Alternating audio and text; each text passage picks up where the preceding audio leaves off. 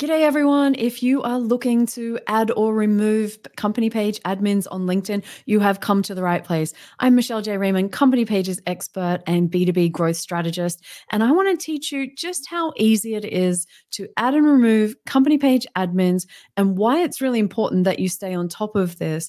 So, the first tip that I want to give you before we dive into the how to is make sure that you always, always, always, always have a company page admin backup. So, more than just one person as a company page admin on your company page. Why do I say this? Pretty simple because lots and lots of people right now are ending up in LinkedIn jail, i.e., you can't get into your account.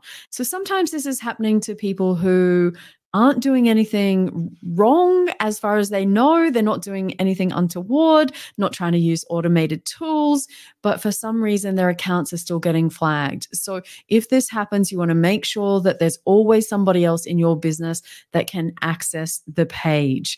The last thing you want to do is get locked out. Trust me, LinkedIn help right now, you're talking about delays of weeks. So that's why this is really important. To add, edit, or remove a company page admin, we need to be in the page admin admin view, which we're in now.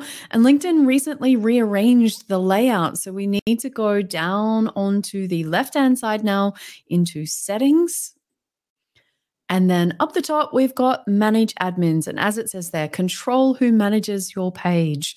Really important thing to do. And you can see everything we need to do is in here. We have two options for page admins that look after the organic side. And the second tab is for paid media admins. So that is if you outsource to an agency to look after all of your paid LinkedIn strategies, you can grant them access, which will give them access to different parts of LinkedIn without seeing the normal admin view that you've got over here. So on the page admins tab, you can see any existing page admins. In this case, we've got two. As I said earlier, always have a backup. To add an admin, just click on add admin, no surprises. And I'm going to start typing Michelle B. Griffin. And there she is. And then I can give her different levels of access. So I'm going to make her a content admin just so that you can see it. We click on save and ta-da, now we've got three. Now, if I want to remove that access, then I click on the garbage bin that's beside her name. If I want to change the level of access that she has, I would click on the pencil and I'm back to this.